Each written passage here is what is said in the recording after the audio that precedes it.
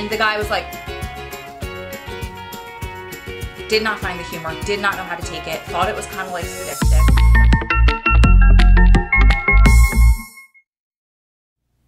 Hi guys, this is Ro. Welcome back to my channel. So today I have a fun slash funny I guess, video for you guys.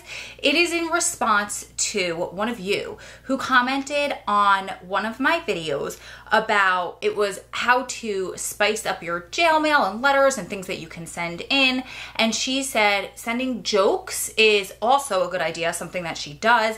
She said laughter is the best medicine. And I love that. And it reminded me of a time that I sent Adam an image and I did it in a joking manner, but the guys inside did not think it was really funny. So we're gonna do a little bit of a story time and then we're gonna turn this into a little bit of a prison wife lesson. So can you guess who the picture was of that I recreated and sent to Adam? Do you guys want another clue? No? I recognize that I don't look exactly like she looks. I'm doing kind of an inspired look of Rosie the Riveter, but you know, that's okay. It's 90 degrees in this bedroom and I just could not imagine putting on a button down long sleeve chambray shirt. So we're going with, I guess a Daisy Duck, Rosie the Riveter inspired combo fusion thing. Anyway, so back when I first started Strong Prison Wives, all over the Prison Wife pages, there were a lot of fun challenges and things that, that went on. We shared a lot about things that we could do to send inside versus like now there's still some of that, but it's a lot more questions and answers and policy and procedure. And I love, love, love that because we help each other. But also it's kind of fun to bring this stuff back. So hopefully this video helps inspire you. And the other video that I did about um, helping them to not become institutionalized and stuff that you can send inside. I will post that up there as well. So I'm gonna pop the picture in that inspired this video that I'm talking about. And one day I just had this idea dawn on me. We're talking all about strong prison wives and our strength and all of the tenacity, determination, and all of those really strong words that it takes to get through the prison wife journey. And who is the woman icon of strength? In my opinion, it is that old war picture of Rosie the Riveter. So, am I saying it right? Riveter, Riveteer? I'm not sure how to say it. But I will pop the original picture in there that I recreated. And then again, I will pop the picture of me in there. And in there, I wrote on the photo, I wrote, I believe he was 12 years in at that point, 12 years down, 201 years to go because for you guys that are new here, first of all, make sure you subscribe so you never miss a video. But second of all, Adam, my husband, is serving a 213 year sentence in federal prison due to mandatory minimum sentencing laws. Even though nobody was physically injured in the commission of his crimes, they stacked the charges on top of one another and it created this crazy longer than life sentence that we're trying to get overturned. So, in my opinion, you have a choice. You could either get bitter and blame the system and just live in a depressed state all the time. And you have every right, you meaning me, I guess, have every right to do that. Or you can kind of pull up your big girl panties and you can slap a smile on your face and you can choose to find the silver lining in anything around us and you can choose to laugh to learn how to laugh again, to find that laugh, because it takes a long time for those of us or for those of you who have been uh, had your loved one ripped away from you and you're in this horrible situation where you're trying to learn how to cope and deal with either grieving the loss of him if you knew him before or grieving the life that you want if you met him after he was already incarcerated or rekindled your relationship after he was already incarcerated. So my thought was, let's laugh about it. So it says across the front of me with my Ro Rosie the Riveter pose, it said 12 years down, 200 more to go. And then at the bottom it said strong enough to wait forever. And that was me like depicting the epitome, depicting the epitome of strength. So Adam got it. He loved it. He laughed hysterical, thought it was funny, thought it was adorable and he was using it as a bookmark in one of his books. And one day he was out in the yard, it was the summer, he was reading, and one of his friends walks by and they started talking, and either the guy saw the photo or Adam showed it to them laughing, and the guy was like, did not find the humor, did not know how to take it, thought it was kind of like sadistic. Is that the word? You know, when you're like too much of, maybe that's the wrong word, but thought it was like too much self deprecating that it wasn't funny or like I lost my mind, he lost his mind, together we're just cuckoo birds.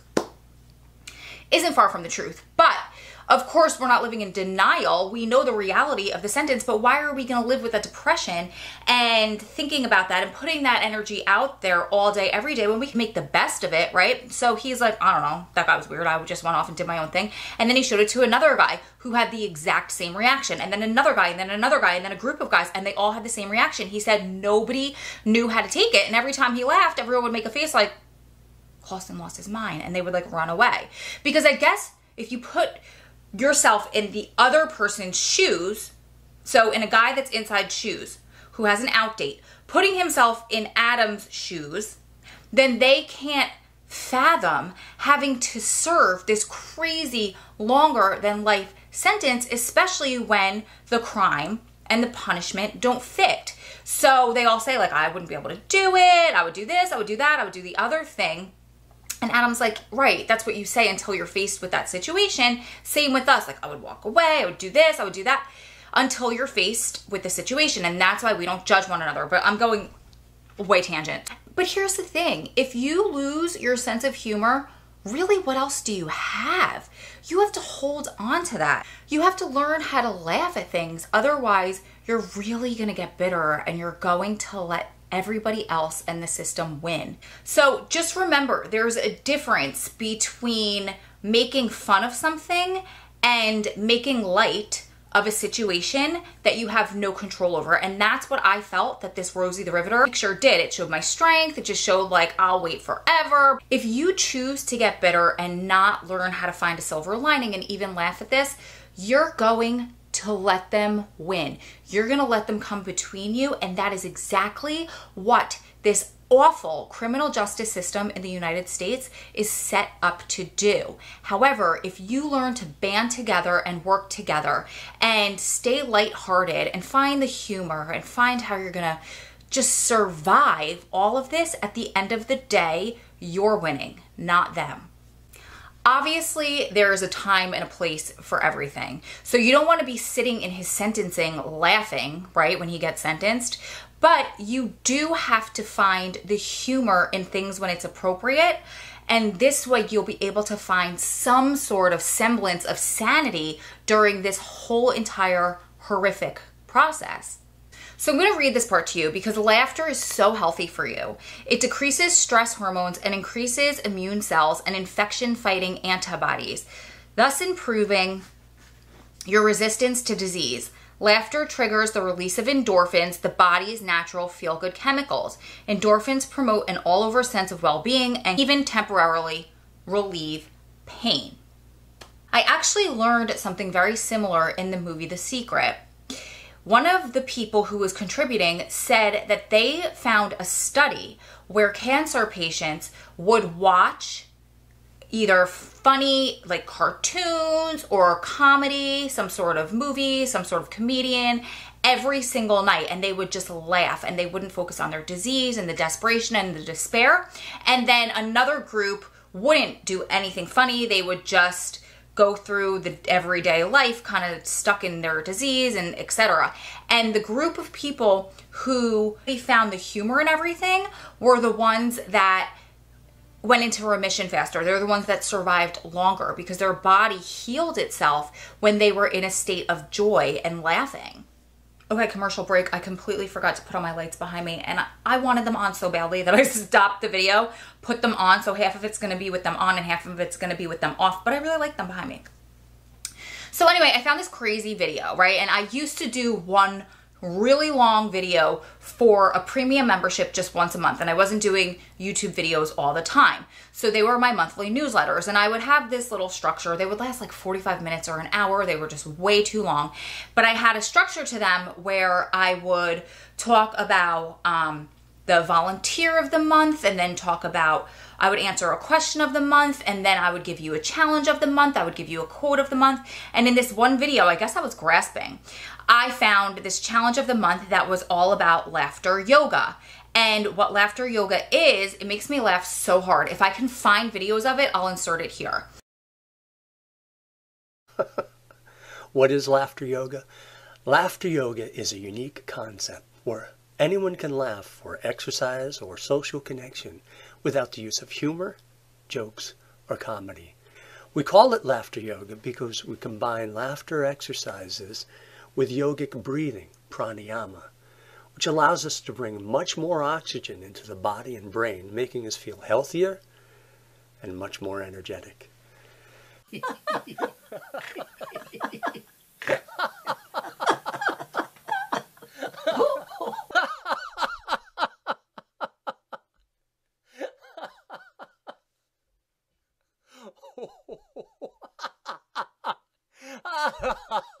insert it here. They say that you can't tell, or your body in its reaction can't tell the difference between a real laugh and a fake laugh. So if they sit a whole bunch of people in like a yoga studio, right? And the instructor will sit there. This is so embarrassing for me to even try to show you. And they'll just go, ha, ha, ha, ha. And they'll just laugh like that, ha, ha, ha, until people really genuinely start laughing because it's crazy. And then you eventually break out and the whole room erupts into laughter. And they say it's this amazing, rejuvenating, you feel rested, you feel relaxed, you feel amazing because the endorphins are released after this class. Personally, I think it's a little kooky, but I like the concept behind it. Eventually, it's so ridiculous that you start laughing. Sorry guys, my battery died, so I'm over two today, obviously. First, I forgot the lights behind me, and then second, my battery dies in the middle of a video.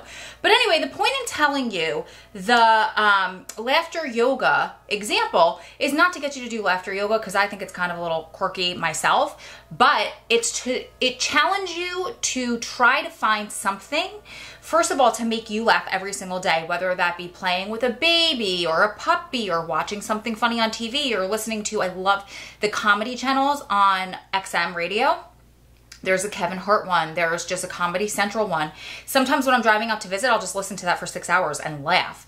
And then the other challenge is for you to find something funny and send it to your loved ones. Find something that you think is funny between you guys.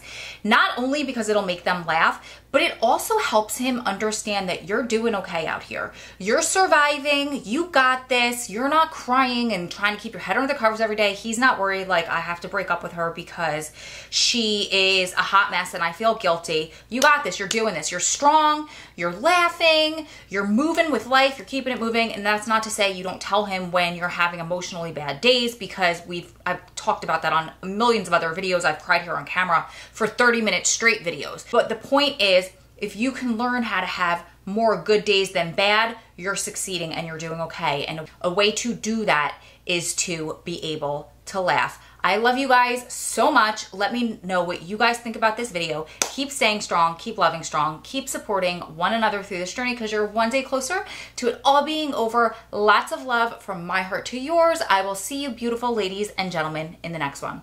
Bye guys.